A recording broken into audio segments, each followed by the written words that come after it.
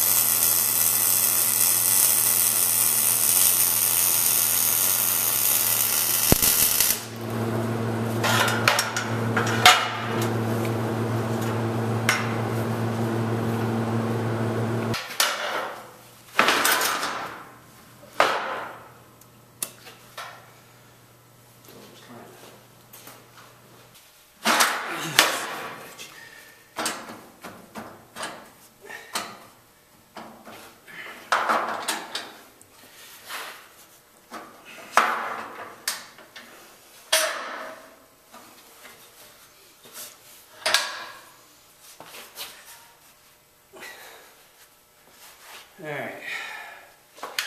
Sometimes I like working alone, but man, trying to do shit like that on your own sucks.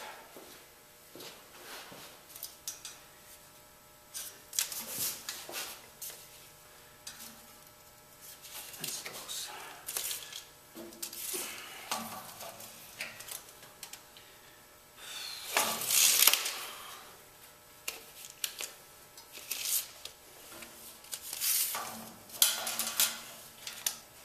Get there.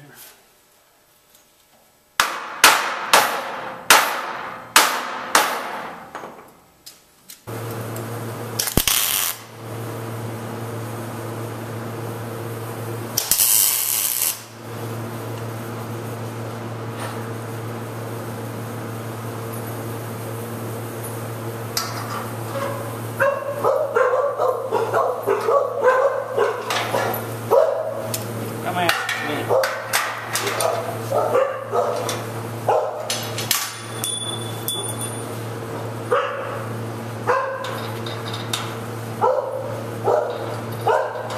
Yes, where it is.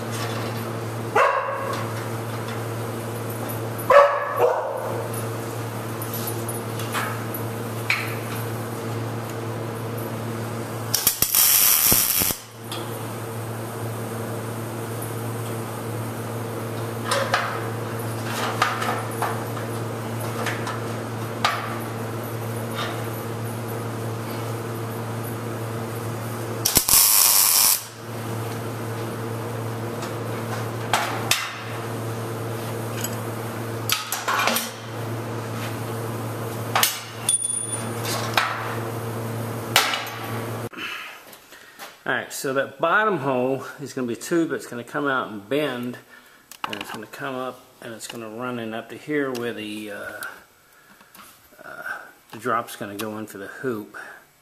And then there's going to be a tube that goes from this cross, this round cross member up to the crossbar in the roll cage towards the center. That's going to help stiffen the uh, frame up that direction. And then the one on the bottom is going to help pull it in, stop it tweaking side to side. Uh, there's a shitload of force that ends up on a four link.